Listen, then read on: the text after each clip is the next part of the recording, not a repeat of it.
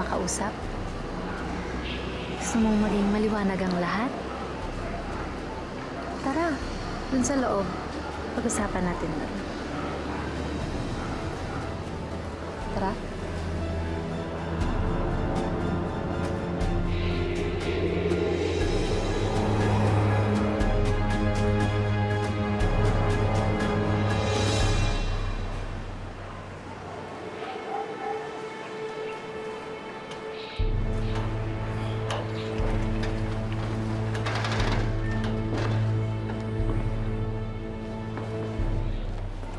Maupo ka muna dyan. Hindi, maupo ka na, tapos kukuhanan kita ng mainom, okay? Saglit lang ha, para maganda yung usapan natin. Sige.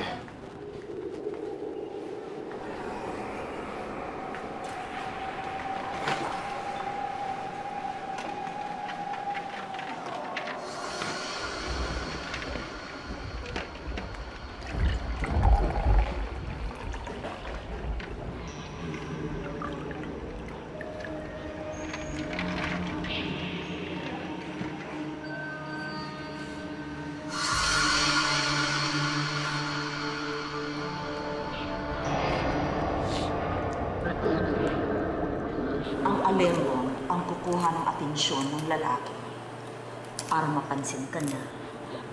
Pero kailangan mo ito para magustuhan ka niya. Papainom mo to sa kanya. Yun na? Tapos sa na si Gerald? Lucille, may kailangan ka pang gawin. Kailangan mo siyang mahalikan sa bibig. Dahil yan ang bubuo sa gayon. Oops, yun lang naman pala eh. Sige, bigyan niyo na ako niyan. Papainom ko agad sa kanya. Kulang pa ito na isang sangkap. Kailangan ko ng pinaghugasan mo. Ha? Pinaghugasan ng ano? Ha?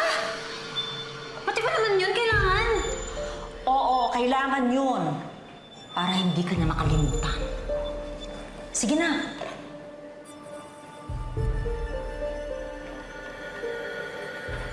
I'm sure kapag nainom niya na yan, ako na lang ang babae talagang maiisip niya.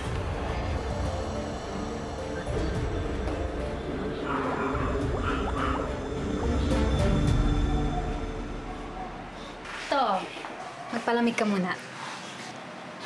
Salamat.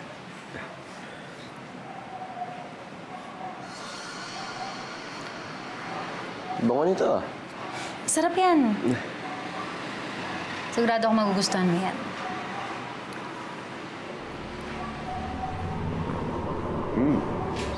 Tamis.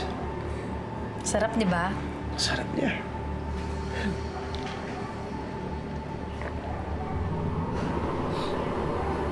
Mm.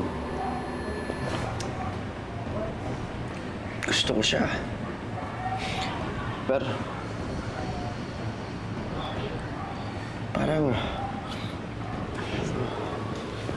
parang... Umiikot ata yung... Ba't ka nang inahatok ako? Pa- Parang...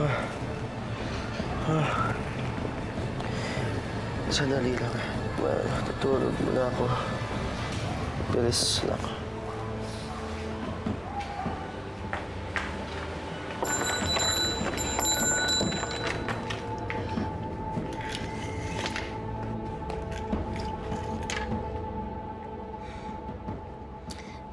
Last step, ang halikan ka.